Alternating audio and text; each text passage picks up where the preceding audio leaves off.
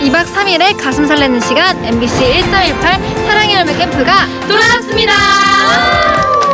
다가올 여름방학 나눔과 봉사로 뜻깊은 시간을 만들어 보는 건 어떨까요? 전국 9개 지역에서 열리는 이번 캠프는 대한민국 청소년이면 누구나 참여하실 수 있습니다. 지금 바로 여기 IMBC 홈페이지에서 신청하세요. 나눌수록 커지는 행복한 추억 만들기에 여러분을 초대합니다